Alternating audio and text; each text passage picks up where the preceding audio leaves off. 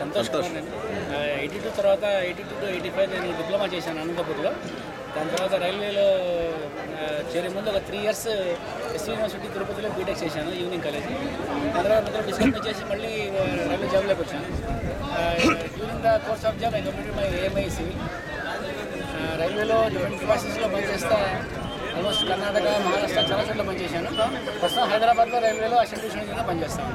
So నాకు ఇద్దరు పిల్లలు. పిల్లలా? ఇద్దరు పిల్లలు. వాడికి అన్ని అదే అయిపోతుంది సారీ పిల్లలు పెద్ద అబ్బాయి ఏమో సెవెంత్ క్లాస్ చదువుతున్నాడు చిన్న అబ్బాయి ఫోర్త్ క్లాస్ థ్యాంక్ యో